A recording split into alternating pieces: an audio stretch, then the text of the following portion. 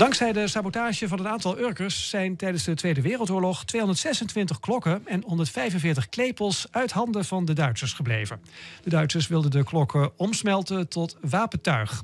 Nou, over hoe dit heldenverhaal in elkaar steekt, praten we dit uur met Rien Bogert van de Stichting Urker Uitgaven. Ja, Rien, goedemiddag. Ja, goedemiddag. Ja, we, we moeten het natuurlijk een beetje beperken, maar laten we beginnen op 6 januari 1945. Dan zitten we ongeveer enkele maanden voor de bevrijding. Ja. Neem ons eens mee, want dat is echt wel de cruciale datum. Ja, natuurlijk. Dan moet je je voorstellen dat het dan zondagmorgen op Urk is, heel vroeg in de morgen. En een aantal Urkers die kijken naar buiten en zien een grote ravage op de vormt. De vorm, dat is zo'n eh, zandbank waar veel schepen op vastlopen als je niet weet waar het ligt. En men kijkt naar buiten en dan zien ze daar elf schepen liggen. En de eerste die er naartoe gingen, die dachten wat zal dat zijn? En ja, er is natuurlijk wel meer op de vorm te schip vastgelopen, maar elf tegelijk is toch wel een hele vreemde zaak.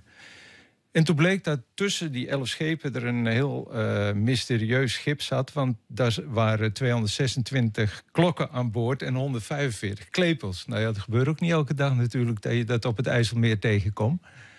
En uh, wat bleek, die klokken waren van kerktorens afkomstig. Uit het hele land uh, verzameld. Uh, niet vrijwillig natuurlijk. Geroofd door de Duitsers. Ja, geroofd. Seizenkwart die, uh, die zei van uh, alle klokken moeten ingeleverd worden. En Want waarom precies? Nou, voor de oorlogsindustrie was het natuurlijk heel belangrijk... dat er veel ijzer, koper en dergelijke kwam. En dat smolt men om in Duitsland tot ja, wapens. En hoe heet het? die meneer die die dat leidde, dat vond ik wel leuk. Die heette P.J. Meulenberg en die noemden ze al snel Klokken Peter. Omdat die ging overal de klokken uit de torens, uit carillons halen... en verzamelde die in Leerdam. Nu heeft Urk ook wel veel klokken. Eh, waren er ook eh, klokken van Urk weggehaald? ja, Urk heeft nu wel veel klokken, maar toen eh, waren er maar twee. Eigenlijk drie een kleine luidklok in de, in de Kerkje aan de Zee een grote klok in het kerkje aan de zee. Dat was een monumentale klok van 1461, meen ik. En die lieten ze hangen. En uh, in de Griffmiddenkerk, dat was de derde kerk in, op Urk op dat moment... daar hing ook een luidklok. Die is, die is er wel uitgehaald. En uh, die is al in 1943 uh, eh, verwijderd. Maar die hadden eigenlijk niks te maken met het klokschip. Nee, en op dat klokkenschip zaten daar hele belangrijke klokken op?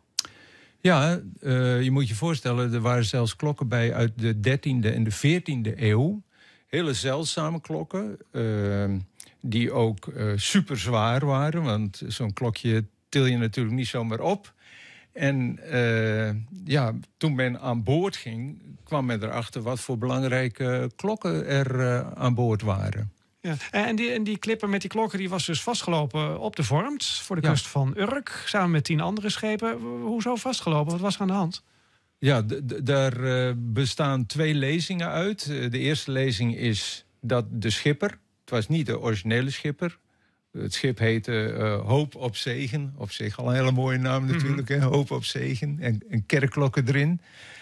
En uh, die schipper die zou dan uh, aangestuurd hebben richting de Vormt. Uh, ik vind Omdat hij zelf niet mee wilde werken ja, aan transport. Ja, ja. ja. Want het was natuurlijk wel een bekende ondiepte al voor iedereen. Ja hoor. Ja, de, die, die lag er. En, en, en iedere goede visserman en een goede schipper die wist dat daar een ondiepte zat. Maar goed, dat is dus één lezing. Is ja, die plausibel eigenlijk? Uh, die, die, eerste lezing die, die komt een beetje uit de familiekring van die schipper.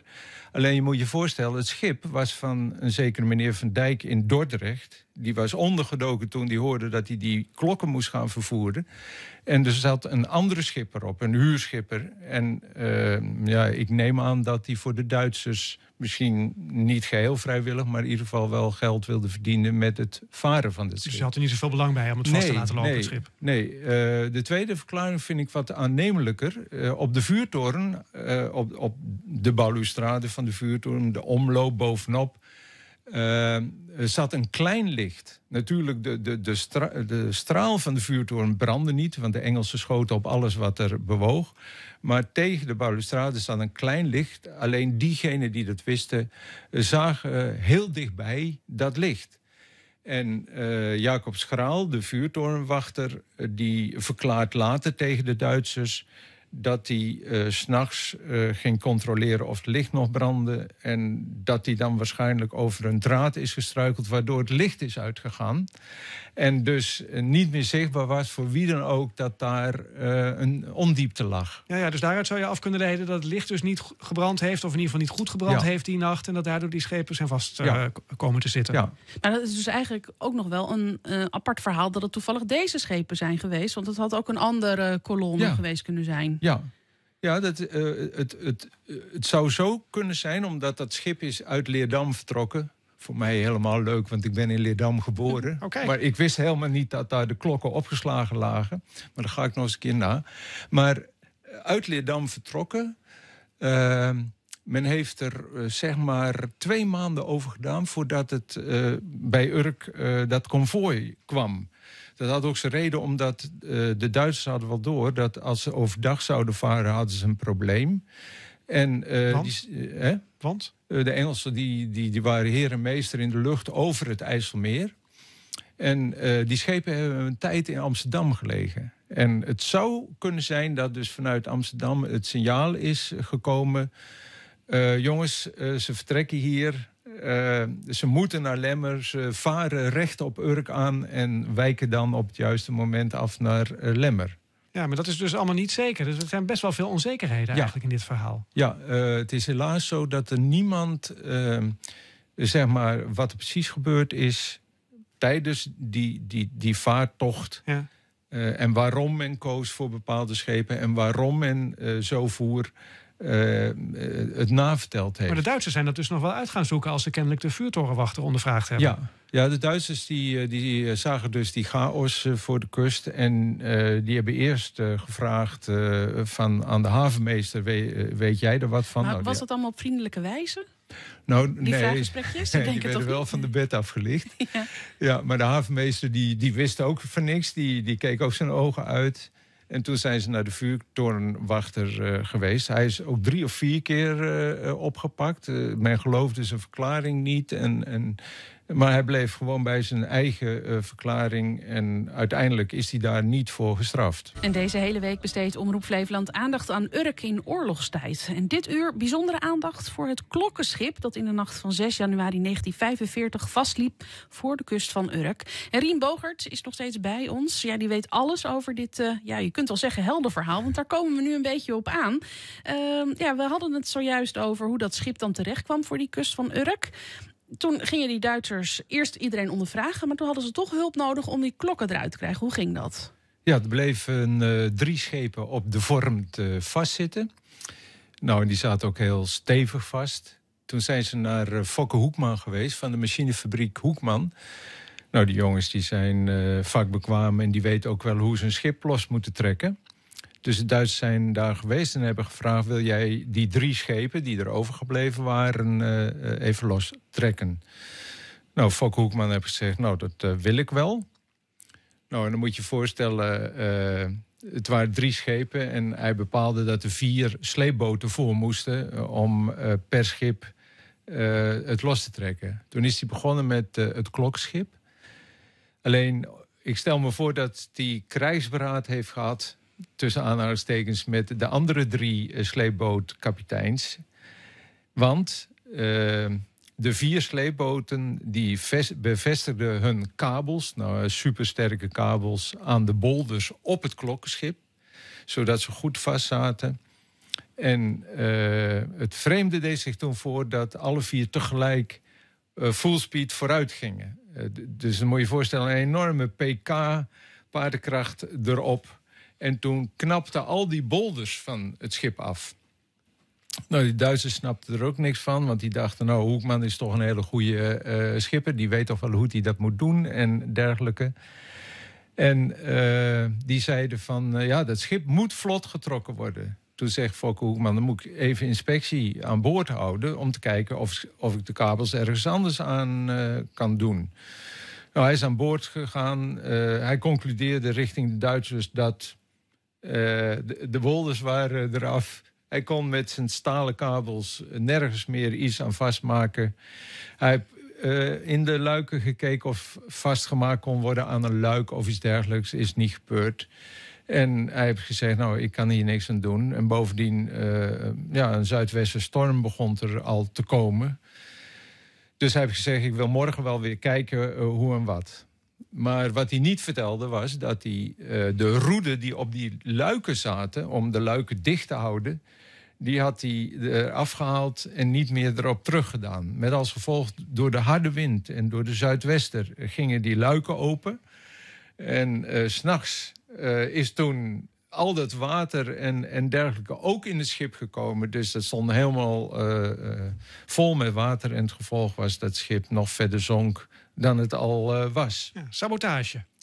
Ja, ik, ik uh, vind dat een, uh, een vriendendienst voor Nederland, de, wat hij gedaan heeft. Ja. Ja, want zo, zo, bleven die klokken natuurlijk hier in Nederland. Uh, ja. ja.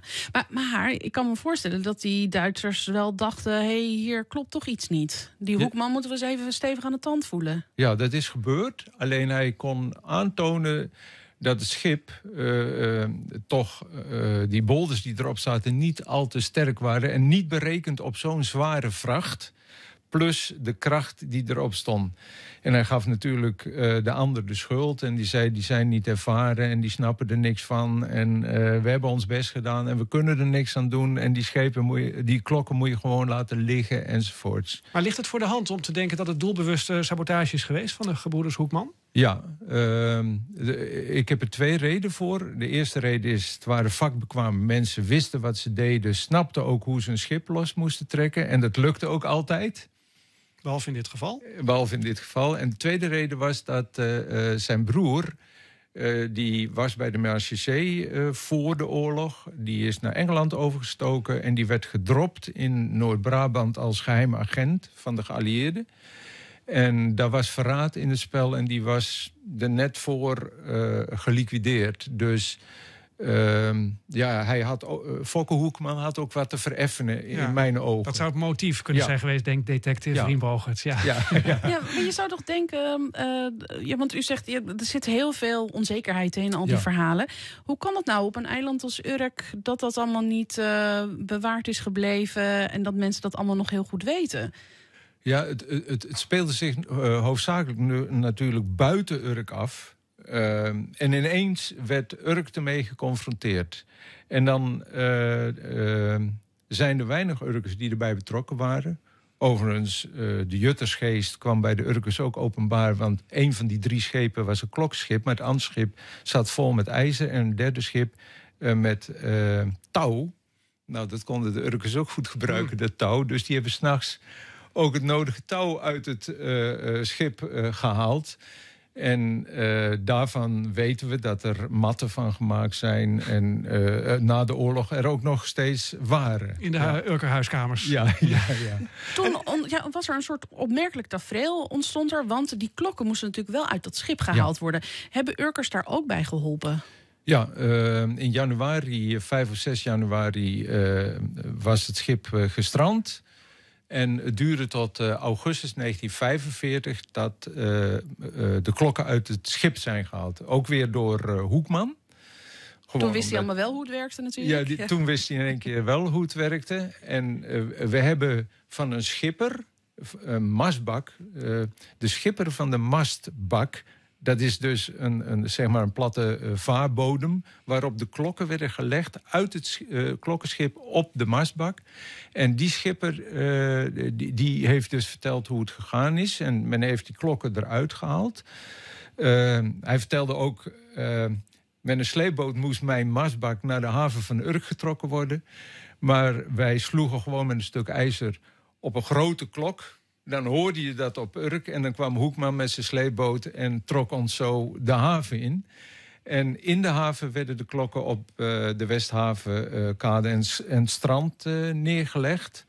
En daar hebben ze ook weer een tijdje gelegen, totdat ze naar de rechtmatige eigenaren teruggingen. En dat is natuurlijk geweldig. Maar is iedereen dan komen kijken uit al die plekken waar die klokken vandaan kwamen? Want wisten ze dat hun klok op Urk lag? Nou, dat wisten ze niet, maar uh, in Nederland had men gehoord van de stranding van het klokkenschip. Misschien even nog een leuk detail, want waar het schip, gestrand was, stond vroeger uh, het kapelletje van Urk en de begraafplaats. Dus die klokken die, die werden begraven feitelijk op de oude begraafplaats van Urk... totdat ze weer uh, boven water kwamen in augustus 1945. En toen kreeg de burgemeester ontzettend veel brieven. Ik heb die brieven ook uh, in, mijn, in mijn bezit.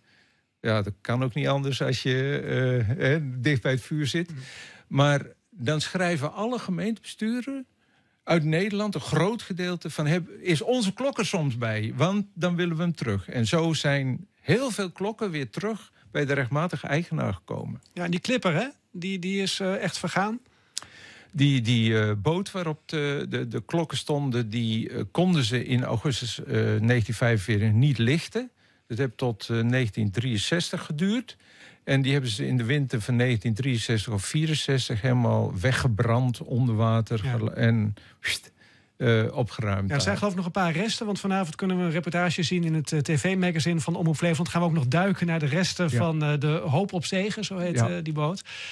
Um, ja, dit was eigenlijk wel het verhaal van, uh, van de klokken. Een verhaal dat dus eigenlijk heel lang onbekend is geweest. Ja, dat, een heel, heel onbekend verhaal. En uh, het speelde zich af in het jaar dat Urk uh, bevrijd werd. En ik denk dat de bevrijding overheerst heeft.